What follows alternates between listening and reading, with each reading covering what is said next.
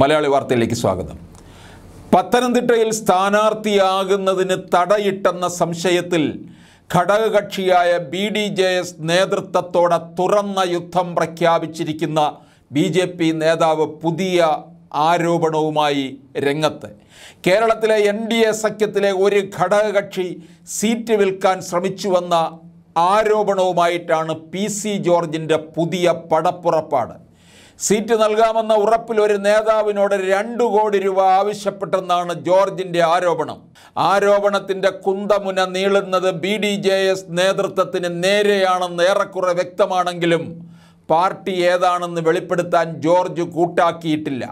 മുന്നണിയിലെ എല്ലാ ഘടകകക്ഷികളെയും പറ്റിയല്ല ആക്ഷേപം ഉന്നയിക്കുന്നതെന്നും സീറ്റ് വിൽക്കാൻ നോക്കിയ പാർട്ടി ഏതാണെന്ന് വ്യക്തമായി അറിയാമെന്നും ഇപ്പോൾ പേര് പറയുന്നില്ല എന്നുമാണ് ജോർജിന്റെ പ്രതികരണം.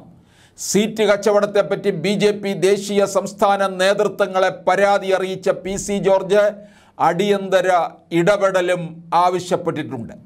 ഇടുക്കി സീറ്റിന്റെ കാര്യത്തിലാണ് വിൽപ്പന നീക്കം നടന്നതെന്നാണ് ജോർജ് ആരോപിക്കുന്നത്. കേരളത്തിന്റെ സംഘടനാ ചുമതലയുള്ള പ്രഭാരി പ്രകാശ് ജാവദേക്കറോടാണ് പി സി ജോർജ് സീറ്റ് വിൽക്കാൻ ശ്രമിച്ചതിനെക്കുറിച്ച് പരാതി ഉന്നയിച്ചത്.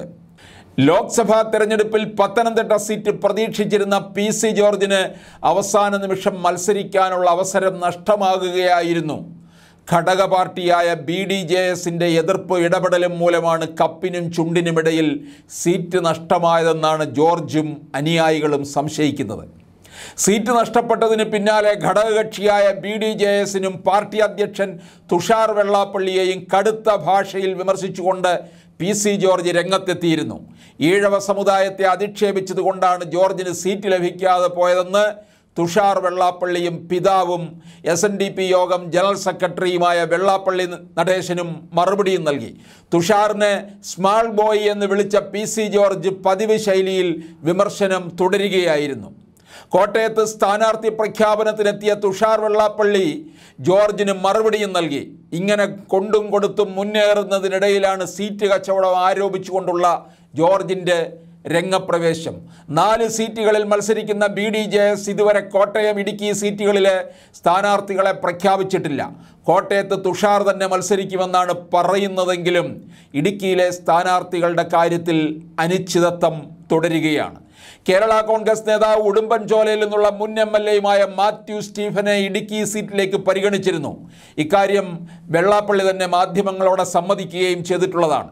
പാർട്ടിയിൽ അംഗത്വമെടുത്താൽ സീറ്റ് നൽകുന്നത് പരിഗണിക്കാമെന്ന് മാത്യു സ്റ്റീഫനോട് പറഞ്ഞിട്ടുണ്ട് എന്നായിരുന്നു തുഷാറിന്റെ പ്രതികരണം.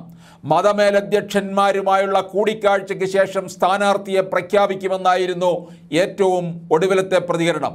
എന്നാൽ ഇതുവരെ ഇടുക്കി കോട്ടയം സീറ്റുകളിലെ സ്ഥാനാർത്ഥി പ്രഖ്യാപനം നടന്നിട്ടില്ല. പഴയ ശൈലിയിലുള്ള വാവിട്ട പ്രതികരണങ്ങൾ നടത്തുന്ന പി സി ജോർജിന്റെ രീതികളിൽ ബി ജെ പി നേതൃത്വത്തിന് ഇപ്പോൾ കടുത്ത അമർഷമുണ്ട്. നാക്ക് നിയന്ത്രിക്കണമെന്ന് പരോക്ഷമായി സൂചന നൽകിയിട്ടും തിരുത്താൻ തയ്യാറാകാത്തതാണ് അമർഷം വളരാൻ കാരണം. പത്തനംതിട്ട സീറ്റ് കിട്ടാതെ വന്നപ്പോൾ സമുദായ നേതാവ് കൂടിയായ വെള്ളാപ്പള്ളി നടത്തിയ പ്രതികരണം അതിരി കടന്നതായി പോയെന്നാണ് ബി ജെ പി നേതാക്കൾക്കിടയിലുള്ള വിമർശനം.